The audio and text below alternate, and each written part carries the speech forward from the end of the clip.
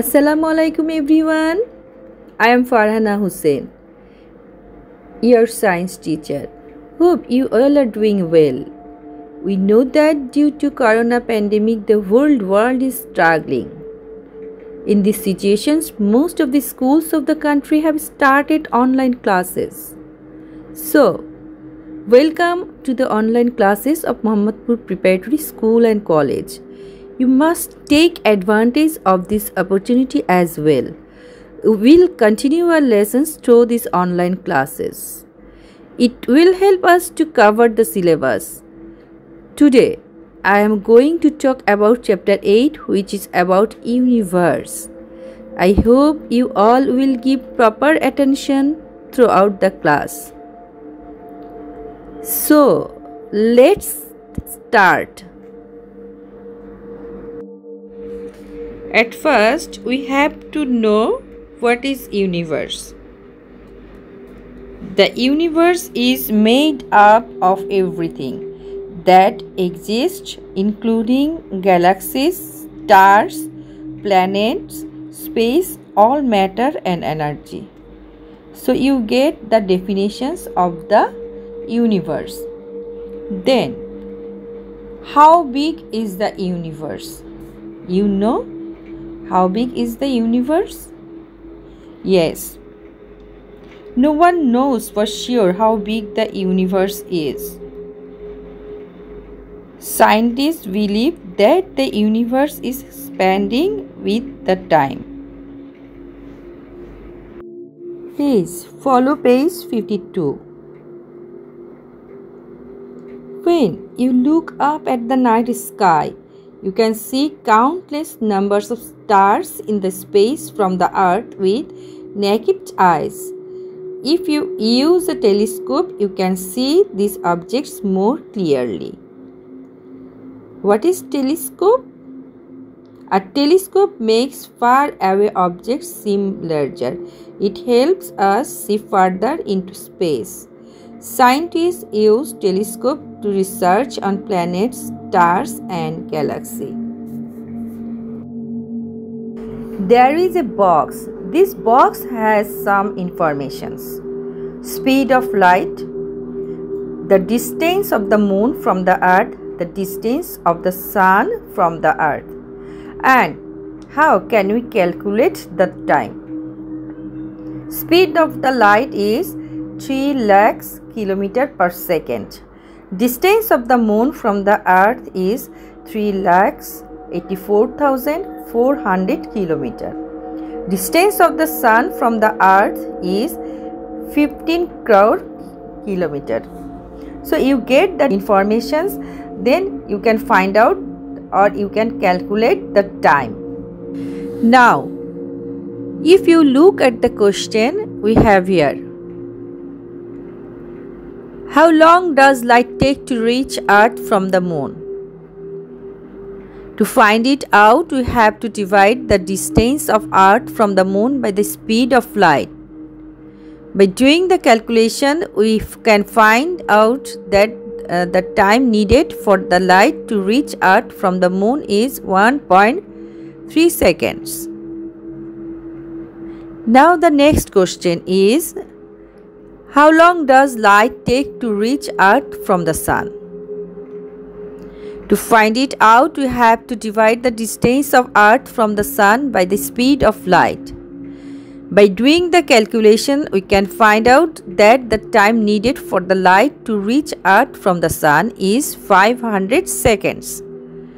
To convert it into minutes, we divide it by 60 and we get 8.3 minutes or 8 minutes.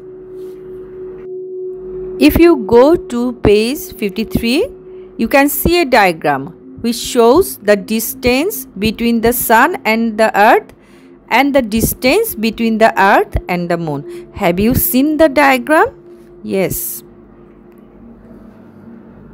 If we are able to travel as fast as light, how long would it take to go across the Milky Way galaxy? It would take 1 lakh 30,000 years. Now, What is the Milky Way? Milky Way is one of the galaxies in the universe. Do you know what is galaxy?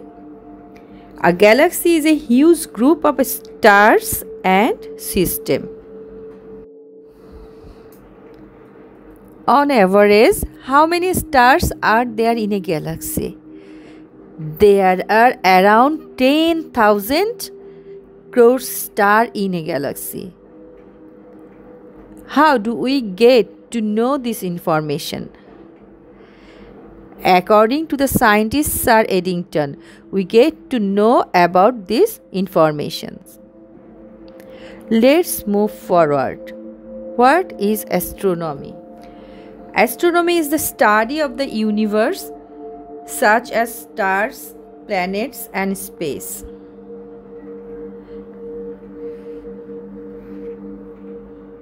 Which technologies are used by scientists to study the universe? Telescope, improved telescope,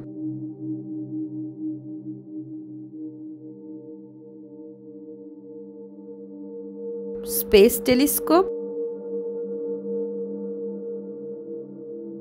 and also the scientists have built space stations.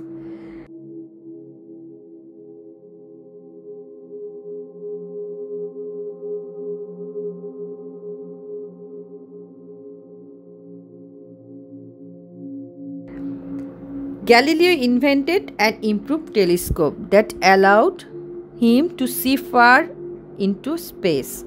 Using the telescope, he proved that the planets actually revolved around the sun. You got a lot of informations about universe from page 52 and 53. Now I am going to discuss motions of earth. Please go to page 54. At first, we have to know what is axis, rotation, revolution and orbit. Base 54 An axis is the imaginary line through the center of an object. Earth's axis goes through the north and south poles. Earth's axis is tilted at some degree or 23.5 degree. While revolving the sun, Earth also spins or rotates on its axis like a spinning top. Then rotation. The spinning motion of the Earth on its axis is called Earth's rotation. Takes 23 hours and 56 minutes for the Earth to complete one full rotation on its axis, which is measured as one day. Then orbit. The path that Earth and other planets move around the Sun is called orbit. And revolution the orbital motion of the Earth around the Sun is, is called revolution.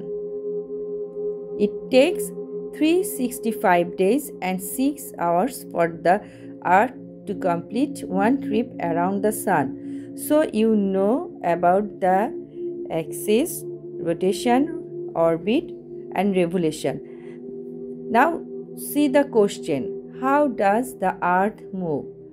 Earth moves in two ways by rotations and revolutions. So you get the answer. How does the earth move? Now, from these discussions, you can also find out the differences between the rotations and revolutions. Now I will talk about the causes of day and night. The earth is spinning on its axis once every 24 hours. That is why the sun rises in the morning and sets in the evening every day. One side of the earth is facing the sun whereas the other side of the earth is not facing the sun. The part of the earth that is facing the sun has daytime. On the other hand, the part of the earth that is facing away from the sun has night. Now I'll talk about sunrise and sunset. The sun seems rising in the east in the morning and then sets in the west as the day ends. This is because the earth is spinning on its axis from west to east.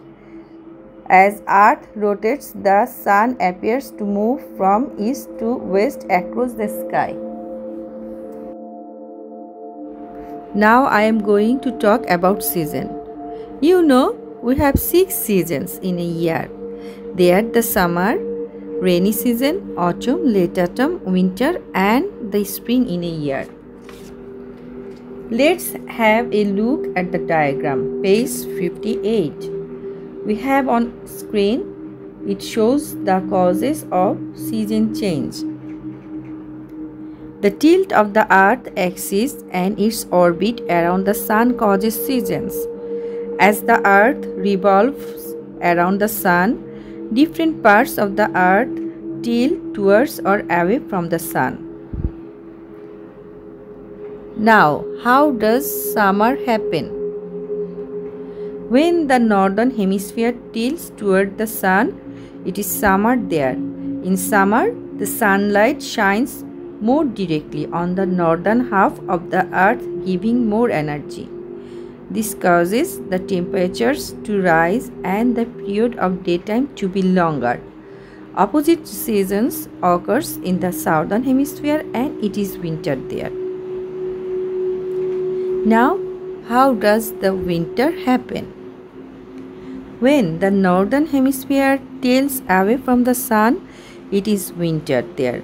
In winter, sunlight hits this part of the earth less directly. The temperature is lower and the period of daytime is shorter but the period of night gets longer. Now from this diagram you know how summer and winter happens. After this we can get to know about other seasons from the next diagram. Have you seen the diagram? Yes, I start from December. Summer is at south of the equator. Winter is at north of the equator. The sun shines directly on the southern hemisphere and indirectly on the northern hemisphere. Now March. Fall is at south of the equator. Spring is at north of the equator. The sun shines equally on the southern and northern hemisphere. During June, Winter is at south of the equator. Summer is at north of the equator. The sun shines directly on the northern hemisphere and indirectly on the southern hemisphere. Now September. Spring. South. Spring is at south of the equator. Fall is at north of the equator. The sun shines equally on the southern and northern hemisphere. So, from these discussions, you know about the season and the season change. Now, I am going to explain page 59 the phases of the moon. What do you mean by the phases of the moon? The changing shapes of the bright part of the moon that we see are called the phases of the moon. Now I am going to talk about motion of the moon. The moon is the only satellite of the earth. You know what is satellite? A satellite is an object that revolves around a planet. The moon rotates on its axis once every 28 days and it also moves around the earth once every 28 days. The moon does not produce its own light. Instead, it reflects the sun's light. Half of the moon is always lighted by the sun But as the moon orbits around the earth, the area of the lighted side facing the earth changes. This changes causes the phases of the moon.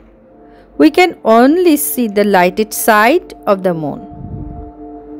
When we can see full of the side lighted, this is called full moon. When we can't see any of the lighted side, this is called a new moon. Now, I am explaining the phases of the moon. Have you seen the diagram? Yes. I start from new moon. When we cannot see any lighted part, this is the new moon. That is, it is fully dark. After new moon comes waxing phases. Waxing means increasing the light. When we can see some lighted part like crescent shape, this is waxing crescent moon. After waxing crescent comes first quarter in this phase we can see half lighted part. And after first quarter we can see more than half lighted part and this is waxing gibbous and after waxing gibbous we can see the full lighted part. This is full moon. After full moon the light decreases. This is waning phases. And when we cannot see some lighted part like crescent shape this is waning gibbous then comes the last quarter. In this phase half of the part gets dark then comes waning crescent moon more than half of the moon gets dark in this way the moon repeats its phases every 28 days. So, we got to learn from this chapter what is universe? What causes day and night? How does the season change? The phases of the moon and the rotation of the moon. Thank you so much for your attention. Stay home, stay safe. Hoping a good health and good days of you all.